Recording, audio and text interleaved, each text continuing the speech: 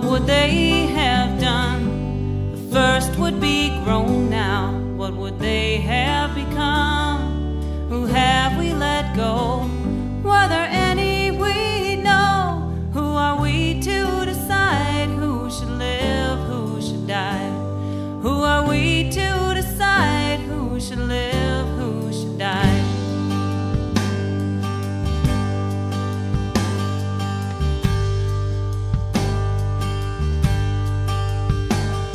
Have we grown so accustomed to serving our greed that we can't accept the blessing of an infant in need? We're so wanting our cars, the big house on the hill. We think it rational.